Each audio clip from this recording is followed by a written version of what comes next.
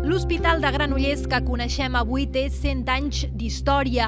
El primer edifici que es va construir va ser l'emblemàtic edifici modernista, on hi ha l'entrada a les consultes externes.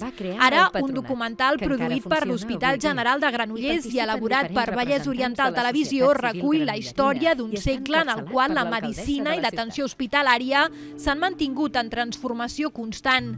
El documental 100 anys cuidant de tu repassa els orígens del centre i dona veu a les germanes badrunes que hi van estar presents des dels inicis. Reuneix en un document d'uns 50 minuts de durada les imatges audiovisuals del dia en què es va posar la primera pedra i desenes de fotografies dels anys 20, 30 i 40.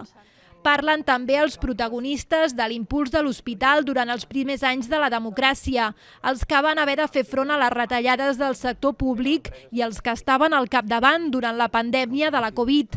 La cinta dibuixa l'evolució constant d'un hospital que va néixer gràcies als donatius i s'ha acabat convertint en un complex hospitalari i ho fa donant veu als seus protagonistes. La presentació del documental es farà el dimecres 28 de febrer al Cinema Edison de Granollers i s'inclou dins dels actes del centenari de l'hospital organitzat pel mateix centre. L'entrada és gratuïta i es pot fer la reserva a la web del Cinema Edison venien cap aquí, no? amb la pandèmia, com que l'hospital va haver de canviar com tots.